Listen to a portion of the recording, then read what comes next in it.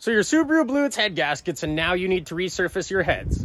Stick around and we're gonna go over backyard machining that will make these flat and ready for a fresh set of gaskets. This can also be applied to many V6 heads. I've done 3.4 Toyota heads. I have not done V8 heads, which will be the same as like a straight four. This is Backyard Machining 101. Let's get into it. This Subaru is a 2010 Outback with only 120K and I did actually pull the heads off in the car. I'm used to working on the 05 to 09s. Those are easier to remove. But this one, they made the bigger body style made it easier. So if you guys want to see a video on how to do it in car, I'm happy to make one. If I get one comment saying you want to see how to do it in car, I got you. Here are the heads. They actually have MLS gaskets and they are from Six Star. If you know about Subaru, Six Star is a great brand. And we can see the machine marks.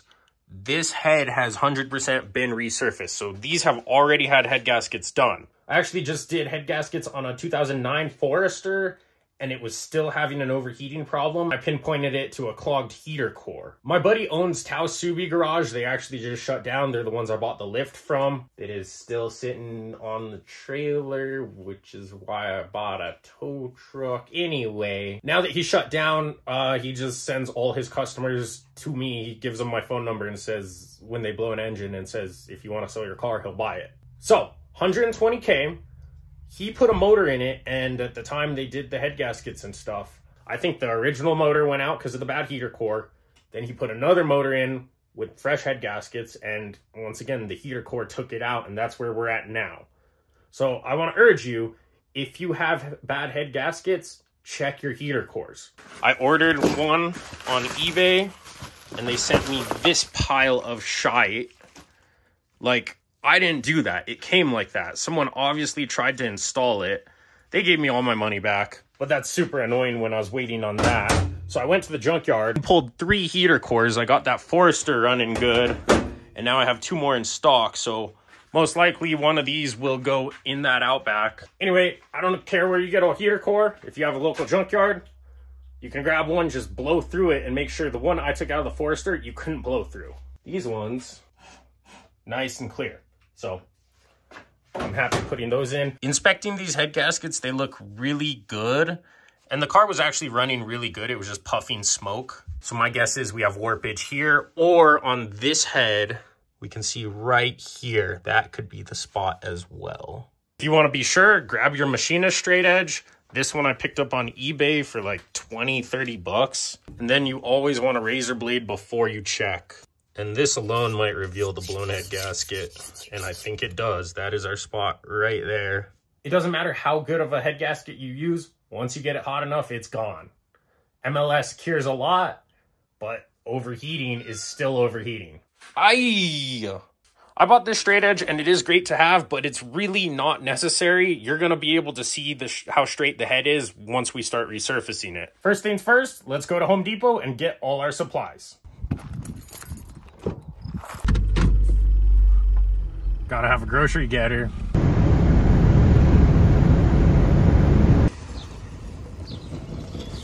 The first thing we need is a flat surface to lay them on. So I'm over here in the tile section. And really you just wanna check reflections and find the flattest piece. So you can just see how the lights reflect off it. And I have found this thing. And it looks super straight. So that is good for me. There's some that are flat, but they're just not reflective. And up close, they're a little rough. I don't like those. I, I like the glass-like ones. And if you have a piece of glass, a thick piece of glass, that will work just fine. Duct tape to hold it down, 3M is the best. Shop towels, you only need one, but they only have a three pack. WD-40.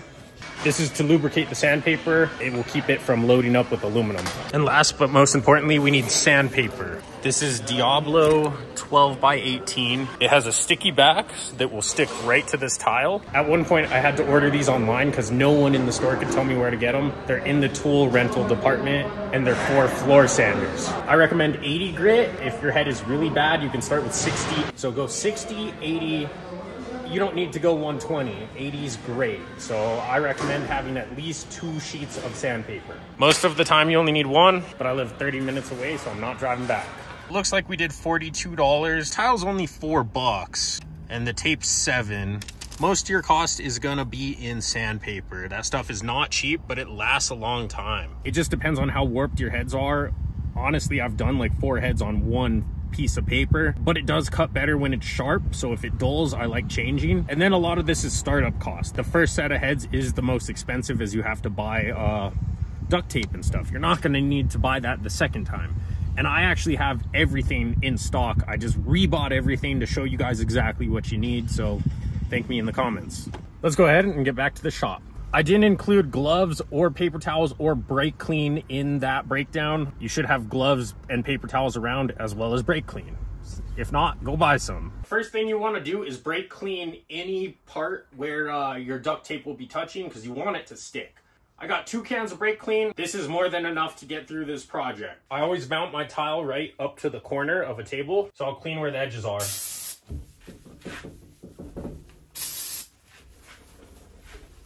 Clean the tile as well, because there's residue on it from just people touching it and dust. And at 10 bucks a sheet, I don't like wasting sandpaper. Now position your tile. I will rough set a piece of uh, paper on it. Tape the tile down.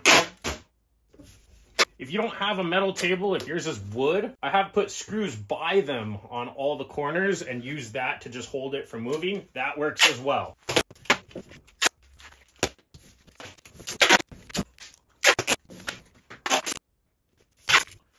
Now we can peel the sheeting and this stuff can be uh, not fun. It likes to rip and do random stuff. So just try a different corner if it's not cooperating. Generally, you can find one and then pull it slow because they like to rip stupid. Like right now, it's about to.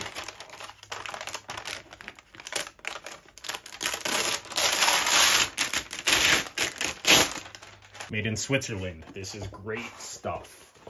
If your heads aren't bad, you generally only need one piece. We will see how these are.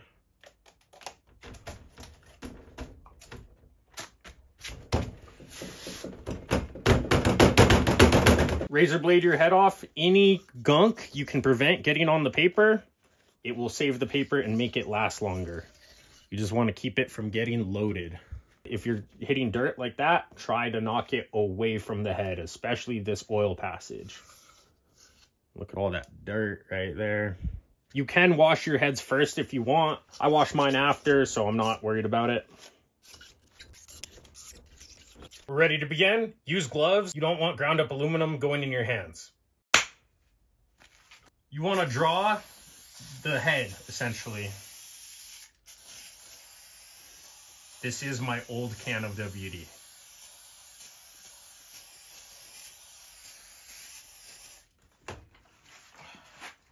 Now plop your head down. I do recommend using two old paper towels to make this hurt your hands less. You just use them to cushion the head. And now I go at a 45. That way I can come over here and come at a 45 again and cross cut the head.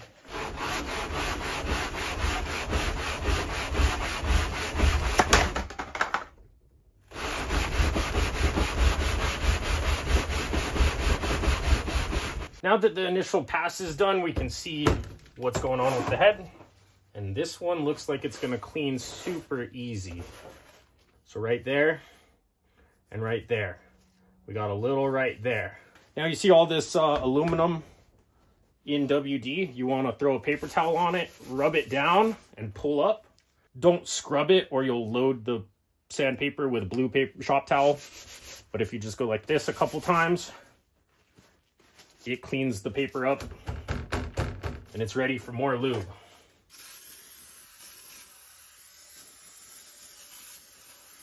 Now, I will tell you guys, this head is cleaning really fast. We'll see the other one. I've had really warped heads where uh, you're here for a while. You know about body work, cross-cutting is, we got the grain cut this way, so now uh, the sandpaper is going to run in those grooves and not cut as fast. So if you oppose the grooves, you'll come and knock it down and it cuts way faster. Don't be afraid to waste a bunch of paper towels and stuff. Think about the alternative, which is paying a machine shop.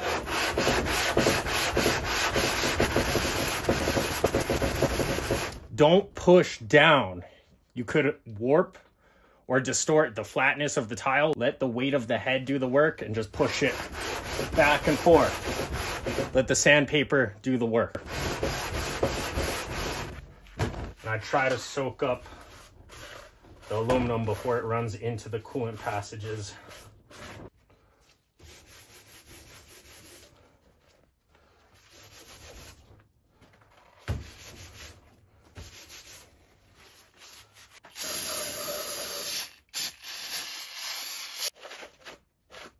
And there we have it.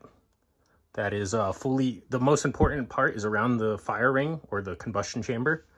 And we are 100% resurfaced. And that one took like literally under five minutes.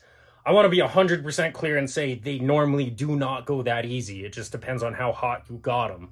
So I'm going to barely touch the second one just to show you guys like how you can identify where it's blown. Okay, here's the second head. I just barely touched it uh, and got the grain moving in one direction, but we can clearly see right here, this is where it is blown right here and right here. The exhaust obviously gets hot. That's what moves first. So that is the cause of our blown head gasket. Once I get those out, get it looking like that, we will be good to go. 2010 and later EJs seem to run these supports. The earlier ones are different and these ones seem to warp less. This has been resurfaced all nice. But see, these jackets tend to let it move more. When they have the little support, they warp less. This one, I remember I had to take 12 thousandths out of it. And that one head alone took like an hour, whereas both of these are touching up in about five minutes per head. So how long this takes really just depends on how bad you overheated it.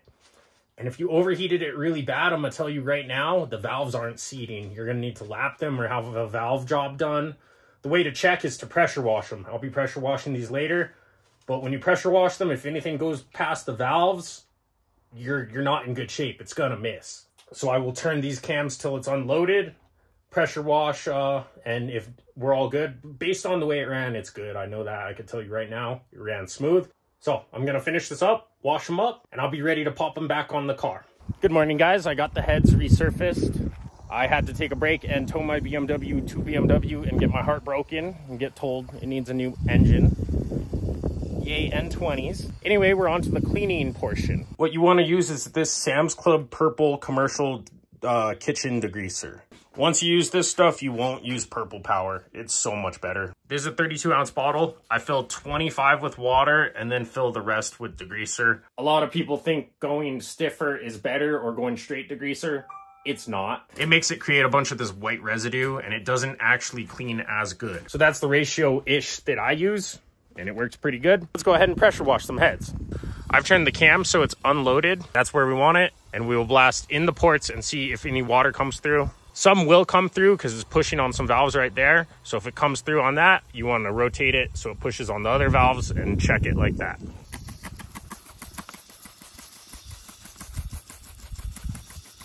Take a look at how carbon loaded this is before this degreaser.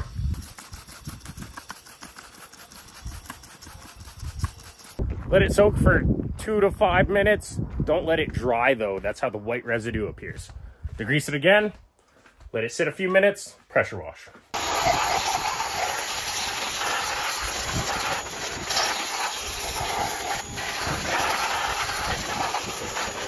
Now I'm gonna check the valves. That one has water going past it. This one does not. This is a bad sign, but it's probably just because it's loaded, so I'll rotate it away. Now, no water. That means you have a good head.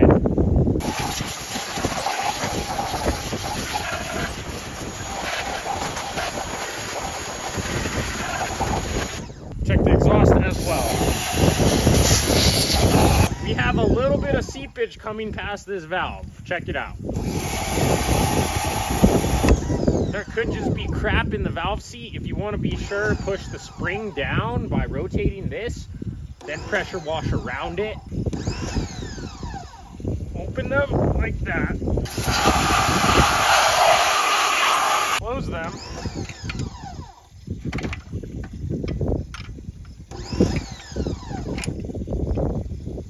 And recheck. So this one, you should lap.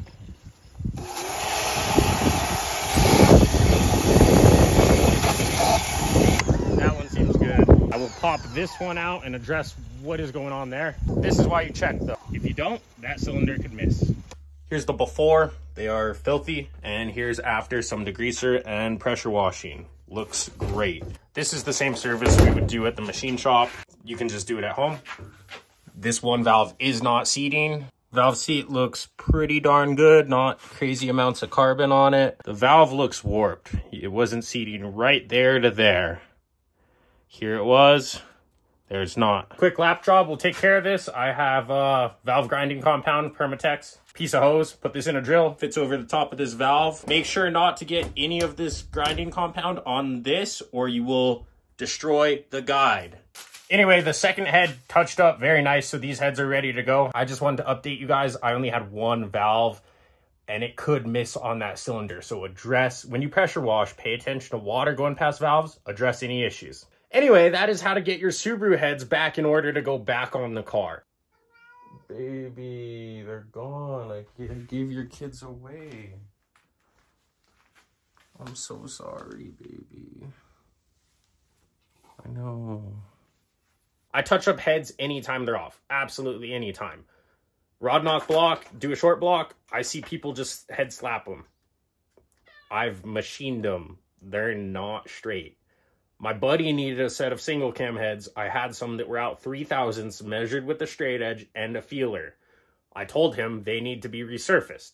I sold them to him. He owns a dealership, keep in mind. He put them on a car with new head gaskets and sold it and said it ran fine.